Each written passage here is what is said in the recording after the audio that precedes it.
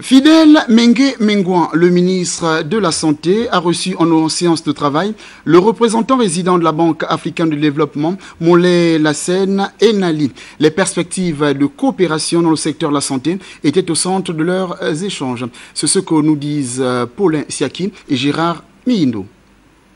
Mettre à la disposition des populations gabonaises une bonne offre de soins conformément à la vision des plus hautes autorités du pays par la réactualisation des systèmes de santé basiques à l'intérieur du pays, avec toutes les commodités requises pour une meilleure prise en charge des compatriotes qui n'ont pas souvent l'accès facile aux grands centres de santé urbains.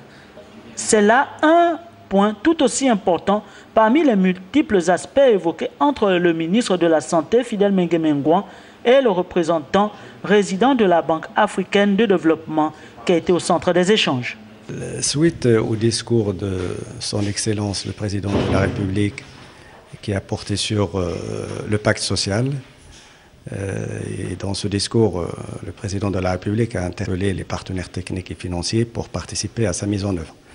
C'est dans ce cadre que je suis venu m'entretenir avec le ministre de la Santé, échanger ensemble sur les possibilités euh, d'appui que la banque pourrait apporter pour la mise en œuvre de ce pacte dans sa composante euh, santé. Pour le ministre, la BAD est un des partenaires privilégiés de la santé. Cette collaboration reste essentielle pour la concrétisation du pacte social dans le domaine du système de soins au Gabon. L'amélioration de l'offre de soins pour le bien-être des populations dont 30% vivraient sous le seuil de pauvreté.